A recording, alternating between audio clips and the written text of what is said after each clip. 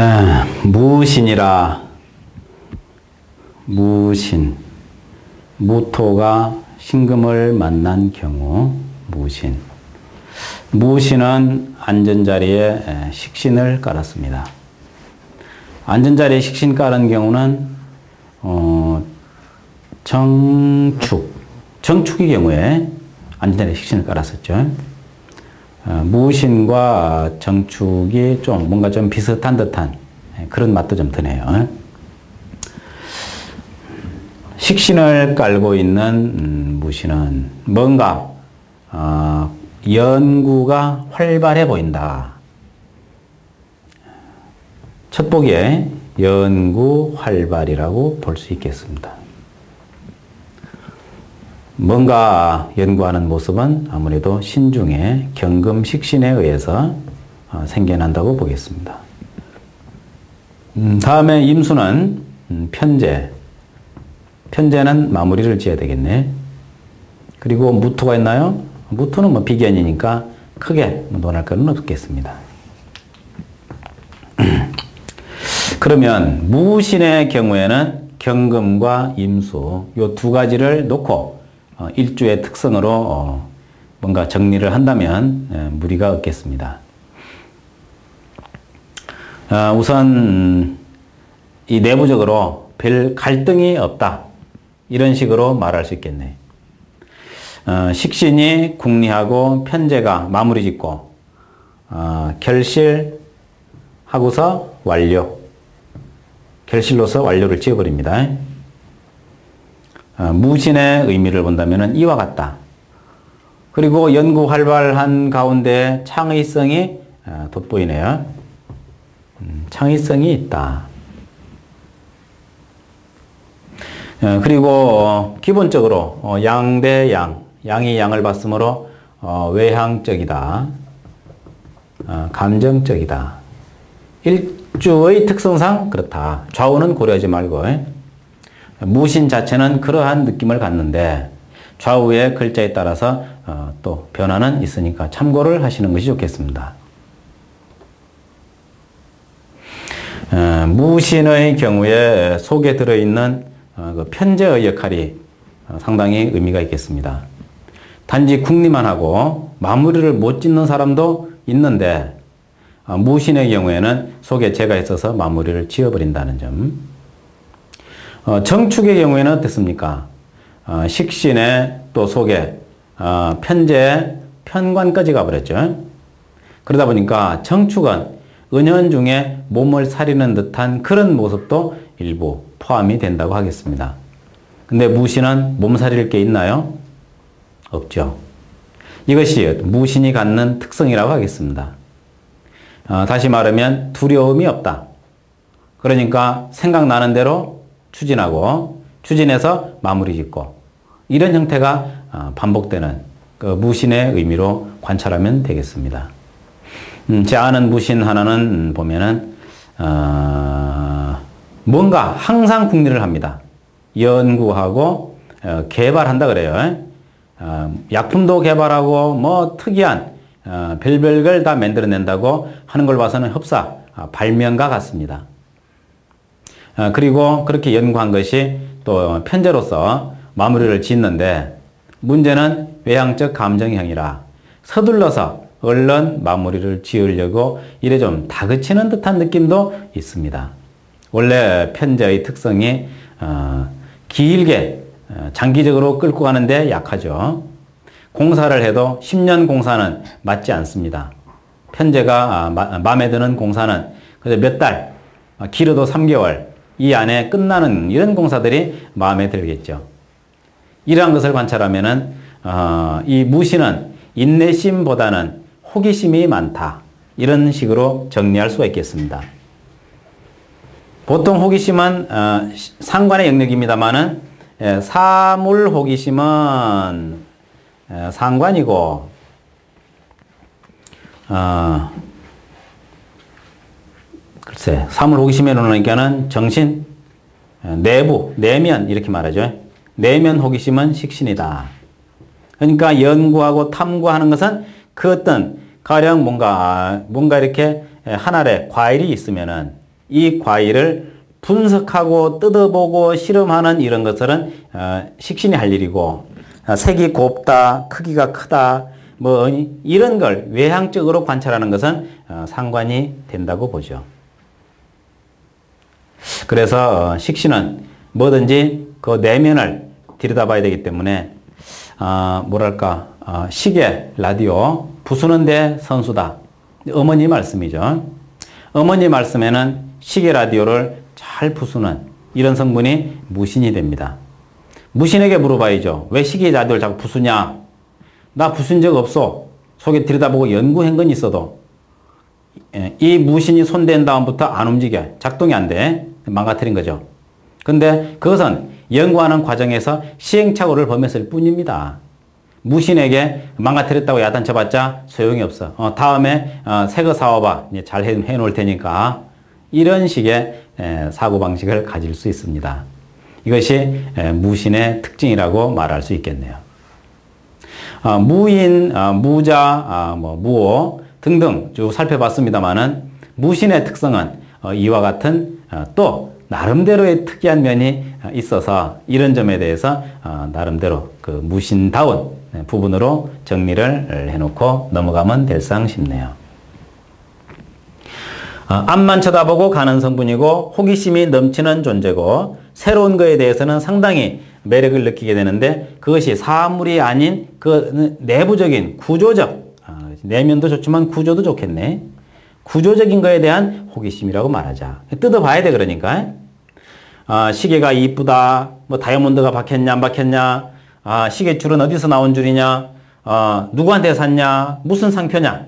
이런 거는 에, 무신이 아니라 무유가 있다면 무유가 갖는 관점이겠습니다. 예, 상관이라는 뜻입니다. 음, 그런데 식신이 되놓으면은 예, 그런 것보다는 아, 이 재질이 무엇인가? 아, 왜 이렇게 이런 재질을 써서 만들었나? 이런 걸 자꾸 연구하고 어, 분석하는 그런 성향을 띠게 된다. 이것이 바로 무신이다. 다른 성분과 비교해서 말씀을 드림으로써 어, 상대적으로 이해를 쉽게 해보고자 이런 방법을 취하게 됩니다. 자, 이러한 무신이 좌우에 어떤 음, 천간을 만났을 때 변화가 생기는가?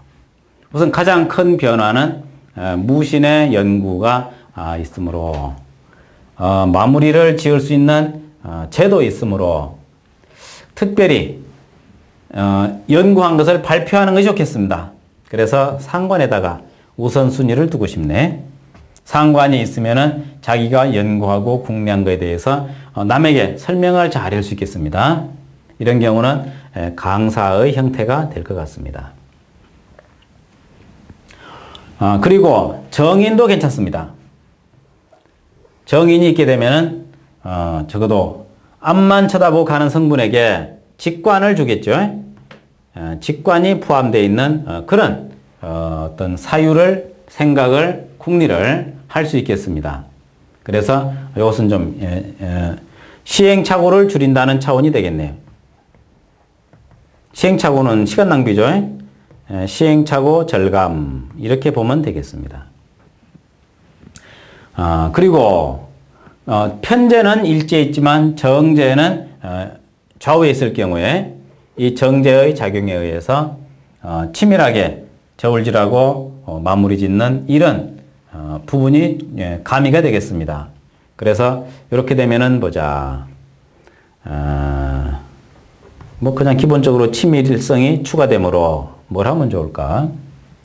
아, 정밀, 정밀 연구, 정밀 설계 이런 말을 하고 싶네. 왜냐하면 식신은 전문, 전문적인 부분이니까 전문적인 부분 중에서 이 정제의 영향이 있으므로 정밀한 설계가 가능하겠다. 아, 오차를 용납하지 않는 그런 부분에 뭔가 저 개수가 아, 달려들면 상당한 예, 좋은 성과를 얻어낼 수 있지 않겠는가 생각이 됩니다. 음량이 다른 쪽에 비중을 두고 있습니다. 예, 거의 자동이라고 말할 수 있겠네요. 이쪽은 쳐다도 안 보고. 치우치게 되면은 그만큼 마이너스 요인이 있기 때문입니다. 저쪽에서 비중을 두는데 비겁은 크게 어, 뭐 고려하지 않고 어 지금 일지식신이기 때문에 관성은 마찰이 일어납니다. 쓰지 않습니다. 평관도 마찬가지고 이 말은 있으면은 예, 해롭다 이런 뜻이 되겠습니다. 그러더라도 있겠죠. 있으면은 이 사람은 연구도 하면서 억압도 받아야 돼요. 이렇게 되면은 연구실이 되겠네.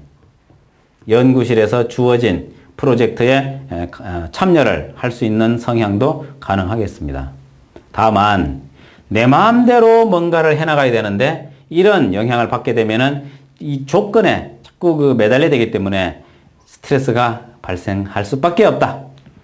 네, 이런 관점으로 어, 관찰을 합니다. 아, 병화, 아, 병화가 들어오면은 식신이 손상을 받죠. 원치 않습니다. 무토도 반갑지 않습니다. 경금은 어, 경금은 앉은 자리 있으니까 크게 돋보일 것이 없네요. 임수도 속에 들어있으니까 돋보일 건 없는데 뭐 그래도 어, 밖에 나와 있는 것이 안에 있는 것보다는 훨씬 더 활동적이라고 어, 본다면 어, 적어도 어, 이렇게 임수 정도는 이, 이, 이 심리 구조를 어, 강화시키고 마무리 짓는데 도움이 되겠다. 그리고 임수가 있음으로써 너무 앞쪽으로 쏠릴 수 있는 영향, 그런 부분이 있을 때는 어, 정화가 옆에서 또 도와준다면 매우 바람직한 배합이라고 볼 수 있겠습니다. 예, 운에서라도 어, 이렇게 뭔가 들어오는 글자를 항상 함께 놓고 대입을 해야 되므로 어, 세운까지 관찰해서 무토의 무신의 변화에 잘 살피도록 노력을 하시면 되겠습니다. 어, 무신은 항상 새로움을 추구합니다. 추구하는데 하나가 마무리되고 나면은 또 다음 단계로 시작을 하죠. 이런 식으로 해가지고 늘 뭔가 연구 궁리하는 모습이 끊이지 않는다. 이것이 무신의 특성이다. 어떤 무신은 활발하고 어떤 무신은 활발하지 않습니다. 아마 주변에 따른 변수가 아닌가 이래 생각을 해보겠습니다. 어, 어쩌면은 저 양의 구성은 기에 가까운 형태라고 봤을 때 기에 가깝기 때문에 아, 주변 영향에 있는 게 아닌가. 예, 이건 갑병 무경임 같은 거죠. 특히 무토는 인력이다. 어, 이런 뭐 대기권이다. 이런 관점으로 본다면 공기다. 차라리 눈이 더안 보이는 그래서 무토를 이해하기는 참 어렵다. 이런 말들을 합니다. 어, 다른 양간 네 글자에 비해서 무토는 유독 변화가 많다. 예, 그것은 주변의 영향에 의해서 비춰지기 때문에 그런 게 아닌가. 무토 자체만의 어떤 특성은 얼른 안 보이는 그야말로 공기 같은 어, 성분이다. 이렇게 관찰을 할 수도 있다는 점 음, 참고하시면 되겠습니다. 자, 기본적인 어떤 구조에 대해서 이해가 되셨다 그러면 사주를 놓고 한번 살펴보도록 하겠습니다. 경술무인 그리고 무신 아, 임술이 됐을 때 야, 무토는 크게 고려할 바가 없죠. 음, 같은 뭐 무토라고 보겠습니다. 비계는 신경 쓸 거 없다. 여기 식신도 있는데 어, 일지에 있으니까 고려할 거 없다. 가장 비중 있는 것은 일지와 시간에 있는 임수가 되겠습니다. 뭔가 궁리하고 만들어내겠습니다. 이 사람은 아, 만들어냅니다. 편제가 있네요. 마무리 짓습니다. 만들기만 하는 사람이 아니라 팔아, 팔기까지 합니다. 이렇게 되면은 어떤 사람이냐? 제조업자다. 제조업에 종사하기 쉬운 구조다. 직장 생활은 어떠냐? 물론 사람이 상황 따라 직장 생활을 할 수도 있겠죠. 다만 기본적으로 직장은 안 맞습니다.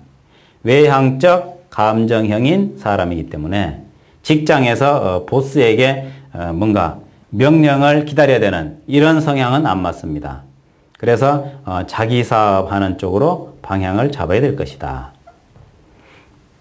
이것도 이 사주의 하나의 특징이라고 말할 수 있겠네요. 아, 좀 나아가서 이렇게 신금과 인목이 이렇게 만나서 한바탕 금극목이 이루어지고 나면은 보통 충이라고 말하죠. 굉장히 부산하게 산다. 한가지지가 않다. 이렇게 말합니다. 또, 뭐, 겉으로 이래 보면은, 어, 편제, 내 마음대로 어, 상당히 성급하군요. 급해서 어, 결과가 늦게 나타나면 노발대발 하겠습니다. 편제 가입해 있는 사람은 그렇게 나타납니다. 그 외향적이죠. 그래서 밑에 사람 생각할 때는 참 승질 더럽다. 이렇게도 말하겠네. 앉은 자리는 식신이 어, 관을 편관을 극합니다. 예, 과감하게 달려드는 도전적인 거죠. 어, 흔히 하는 말로 간이 부었다. 이렇게도 말합니다. 관, 간이 부으면은 대들잖아요. 월진대게 어, 편관인데 대듭니다. 그래서 도전 정신이 강하다. 이렇게도 말할 수 있겠습니다. 이 사주에 이런 여덟 글자의 배합 중에서 네 글자를 놓고 어, 이러한 판단을 할 수가 있겠다. 이렇게 보는 거죠. 남의 말 듣고 어, 굽힐 줄 모르는 것은 남의 말을 들을 줄로 몰라. 기본적으로. 그러면은 인성이 없어서 그래. 인성이 없기 때문에 수용성이 약하다. 자기 생각대로 밀고 나가야 돼. 잘 되면 영웅이고 못 되면 밥 빌어 먹기 딱 좋지.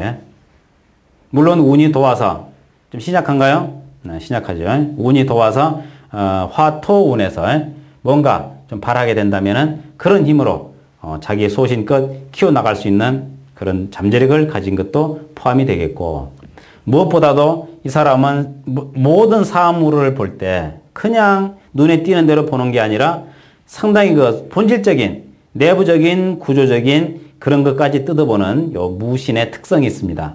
그래서 이런 사람은 제조업에하고 어, 또 창작도 포함이 되겠습니다. 글을 배웠으면 글을 쓸 것이고 사물을 다루면 사물을 만들어내겠죠.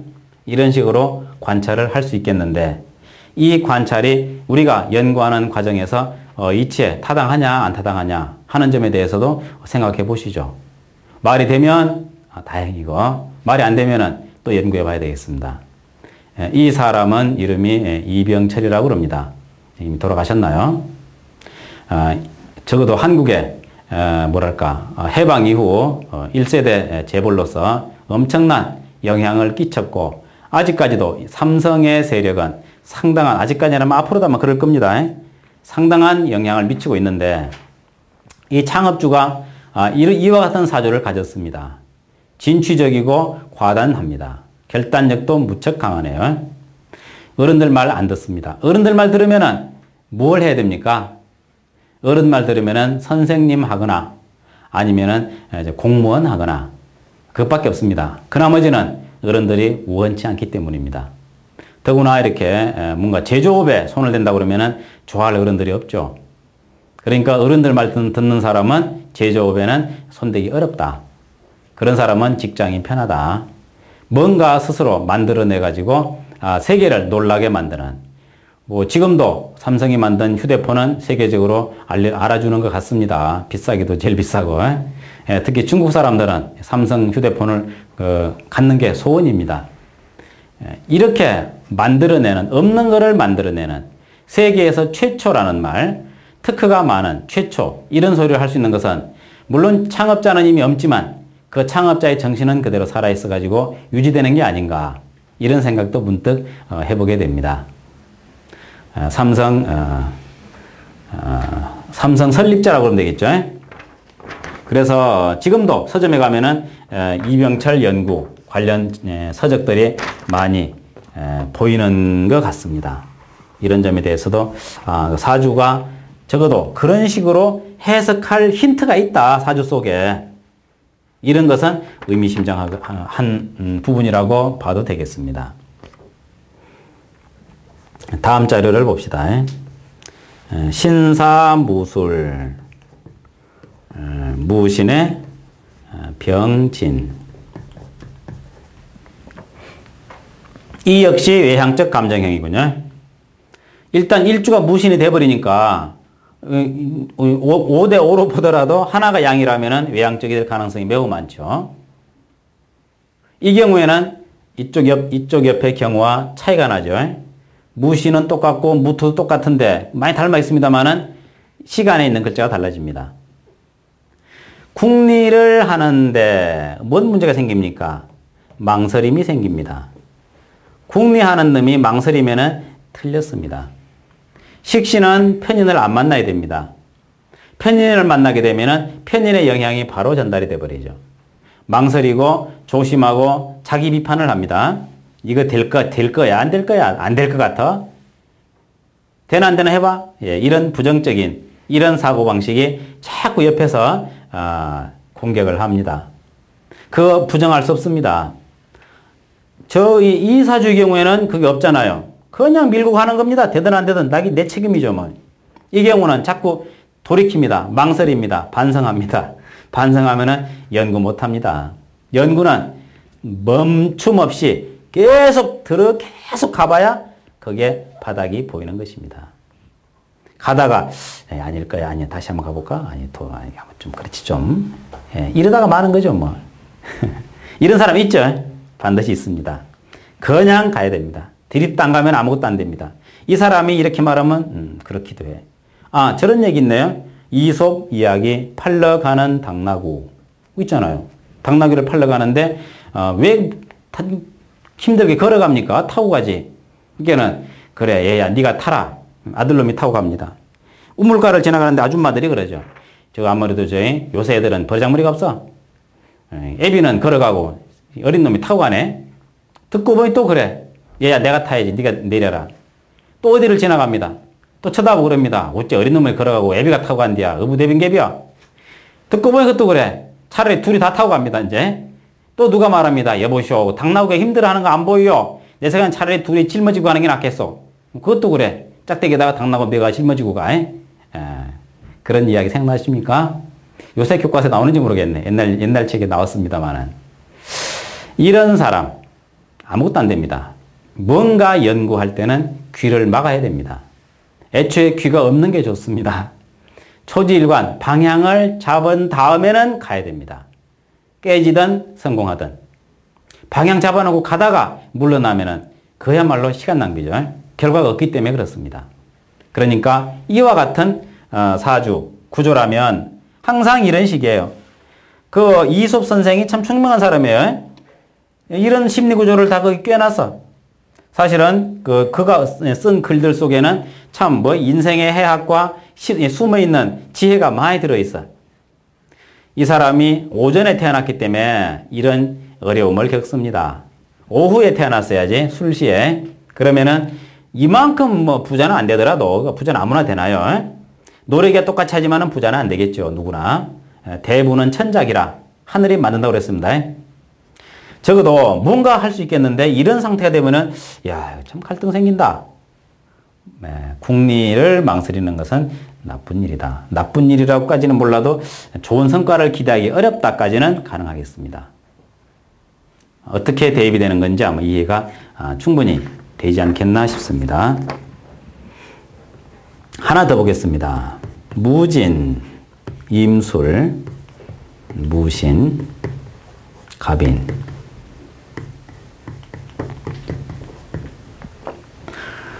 아, 이번에는 식신과 편관이 만났습니다. 이것도 안 좋죠. 그래도 제가 있어서 다행인데 쟤는 얻어맞고 있네. 얻어맞는 쟤는 힘이 없어. 역시 외향적 감정형입니다. 이상의 무신은 이렇게 치우쳐가 있네요. 그 참. 여하튼 이렇게 됐을 때는 어떻게 할 것인가? 아, 아, 국리를 하긴 하는데 자꾸 옆에 잔소리를 해. 잔소리. 라면을 끓이면서 국리를 합니다. 세상에서 가장 맛있는 라면을 내가 끓여봐야지. 예, 끓이는데 옆에서 편관이 그럽니다. 야, 계란 넣냐? 예, 계란 안 넣었어. 계란 안 넣고 끓여봐야지. 계란 넣은 라면 무슨 특색이 있습니까? 아니요, 나는 계란이 아니고 나는 뜸부기알을 넣어볼 거야. 어, 그거 괜찮네요. 뜸부기알하고 계란하고 좀 다르겠죠. 예? 아니면은, 아니야, 나는 그보다는 사과를 좀 넣어보고 싶어. 뭔가 자기 나름대로 밀고 나가야 돼. 근데 옆에 편관이 딱 버티고 있어. 아, 계란 안 넣네. 이 사람은 계란 안 넣으면 무슨 계란을, 라면을 끓이나? 그렇네. 그럼 계란 하나 넣고 하지 뭐. 한참 젓다 보면 또 김치 넣냐? 아, 이렇게 하는 과정에서 연구가 됩니까? 안 됩니까? 아무것도 안 되죠. 이런 걸 보면은 적어도 어, 연구할 때는 귀를 막아야 된다는 게 확실합니다. 인성이 어, 병화가 인성이 그걸 하거나 아, 간목이 어, 간섭을 하거나 이러한 것들은 전부 다 도움이 안 된다. 무신이 예, 자유롭게 국리하려면은 인성이나 관살은 안 만나야 된다. 오로지 재성만이 유리하다. 이렇게 관찰할 수가 있겠네요. 연구하는데 합리적이면 더 좋기는 하죠. 다만 합리적으로 연구해가지고는 신개발품은 못 만들어냅니다. 불가능합니다. 어찌 보면은 불합리한 그런 사고방식, 남의 말 안 듣는 그런 어, 강력한 그런 추진력이라야만 새로운 걸 만들어내죠. 항상 한계에 도전하는 사람들, 식신과 편제가 반드시 필요합니다. 왜냐하면 정제는 그 연구하는데 돈 들어가는 것 때문에 함부로 못 달려들거든요. 어, 편제라야까지 그 갈 때까지 가보자. 이렇게 됩니다. 그래서 무신이 임수를 만났을 때 뭔가 일을 낼 수 있는 조짐이 된다. 어디 여러분들 사주 좀 보십시오. 네, 무신의 임수 보인다면 큰 꿈을 가지고 한번 다부지게 달려들어서 일을 만들어 보시기를 바라겠습니다. 어, 몇 가지 경우를 포함해서 이렇게 무신에 대한 상황을 살펴봤습니다. 무신은 뭔가 연구하는 성분이기 때문에 어, 직장보다는 스스로 음, 자기 스스로 일하는 것을 우선적으로 어, 여긴다고 생각을 하고 뭔가 늘 만들어내는데 흥미를 갖는다는 거 이런 사람은 어, 반복적으로 하는 것에 대해서는 흥미를 못 느낍니다. 고스톱 같은 거 별로 안 좋아할 것 같습니다. 반복적이잖아요. 연구할 게 없어. 차라리 뭔가 만들어내는 바둑이 낫겠네. 이와 같이 무신다운 무신의 마음으로 무신의 삶을 살아가는 무신에게 큰 박수를 보내주시면서 마치게, 마치도록 하겠습니다.